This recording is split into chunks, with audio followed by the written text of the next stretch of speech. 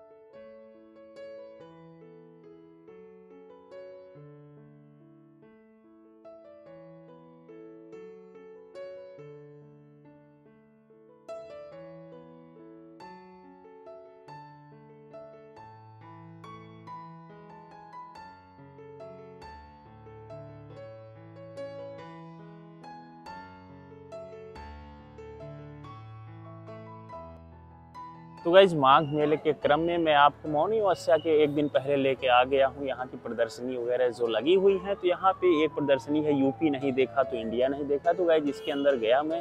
देखा बहुत ही भव्य प्रदर्शनी है। अपने उत्तर प्रदेश की जितनी भी ऐतिहासिक चीज़ें हैं, जितने भी ऐतिहासिक प्लेस हैं, उनको दिखाने का प्रयास किया गया है पिक्चर के माध्यम से। तो गाइज़ बहुत ही खूबसूरत है। यहाँ पे विष्णु भगवान का जो समुद्र मंथन में जो अमृत निकालने का प्रयास था, उसको भी बहुत अच्छी तरह से यहाँ पे प्रदर्शित किया गया है। तो अगर आप लोग संगम आते हैं तो दस मिनट का समय यहाँ पे दें। तो ये जितनी भी प्रदर्शनी का आयोजन किया गया है, इसी क्रम में लेके चले गए हैं संगम तक। तो गाइज़ उम्मीद है कि आपको प्रयागराज माघ मेले में प्रदर्शित, यह भव्य प्रदर्शनी बहुत ही ज़्यादा पसंद आ रही होगी। तो गाइज़ इसी के क्रम में मैं एक प्रदर्शनी में और आपको ले, लिए चलता हूँ, जो कि भारतीय रेल को समर्पित है। तो एज रेल एग्जीबिशन के साथ साथ श्रद्धालुओं को जो टिकट काउंटर वगैरह की व्यवस्था की गई है, समय साड़ी वगैरह की जो व्यवस्था की गई है, इसके लिए मैं देशी एम के अपनी गवर्नमेंट का दिल से बहुत ज़्यादा शुक्रिया करता हूँ और बहुत ही ज़्यादा धन्यवाद करता हूँ। तो गाइज़ उसमें जो आधुनिक रेल कारखाने, रेल इंजन, रेल के जो बहुत ही ज़्यादा इनोवेटिव कार्य हैं, उसको प्रदर्शित किया गया है। तो चलिए आपको लेके चलते हैं, उसकी भी एक झांकी दिखाते हैं और गाइज़ उससे भी आपको रूबरू कराते हैं। तो रहिए मेरे साथ, करते रहिए इस प्रदर्शनी का पूरा इंजॉय और यहाँ पे जो भी आधुनिक चीज़ें दिखाई गई हैं, उसके साथ पूरी पूरी मस्ती करते रहिए। तो गाइज़ उत्तर प्रदेश की अगर बात किया जाए तो चाहे वो राजनैतिक दृष्टि से हो, चाहे आर्थिक से हो, चाहे भौगोलिक से हो, चाहे जनसंख्या की दृष्टि से हो, किसी भी दृष्टि से उत्तर प्रदेश को इग्नोर करके भारत के विकास की कल्पना भी नहीं की जा सकती है।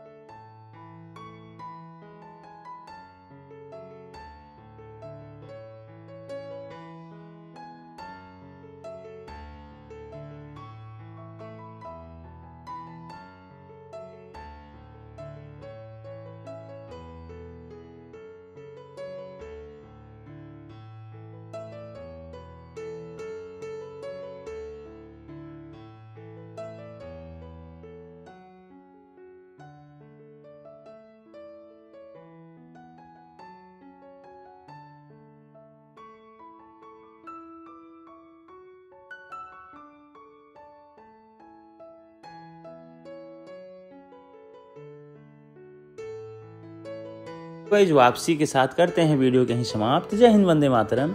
जय गंगे भैया